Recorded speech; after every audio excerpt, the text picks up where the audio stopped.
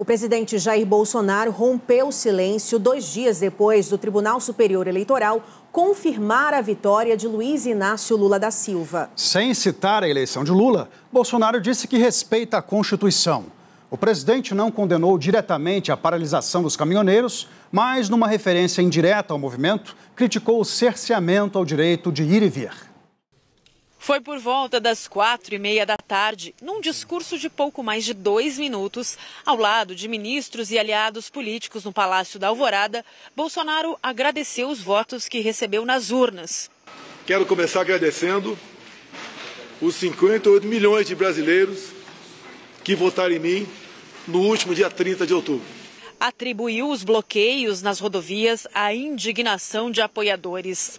Os atuais movimentos populares são fruto de indignação e sentimento de injustiça de como se deu o processo eleitoral. As manifestações pacíficas sempre serão bem-vindas, mas os nossos métodos não podem ser os da esquerda, que sempre prejudicaram a população, como invasão de propriedades, destruição de patrimônio e cerceamento do direito de ir e vir. Bolsonaro voltou a falar sobre o Congresso eleito, predominantemente de direita. A direita surgiu de verdade em nosso país.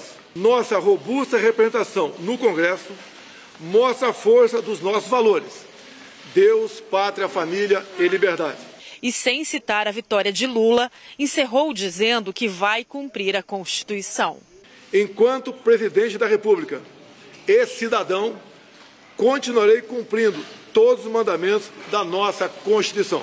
É uma honra ser o líder de milhões de brasileiros que, como eu, defendem a liberdade econômica, a liberdade religiosa, a liberdade de opinião, a honestidade e as cores verde e amarela da nossa bandeira. Muito obrigado.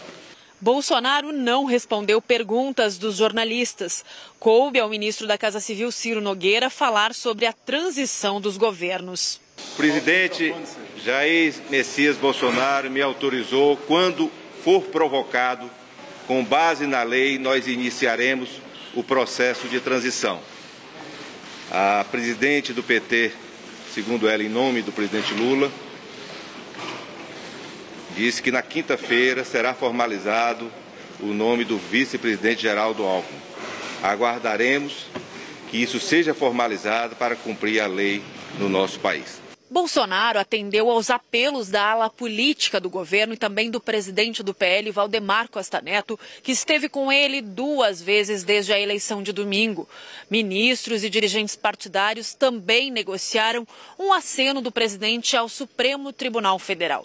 Logo depois da declaração de Bolsonaro, o STF emitiu uma nota em que considera que o presidente reconheceu a derrota no discurso.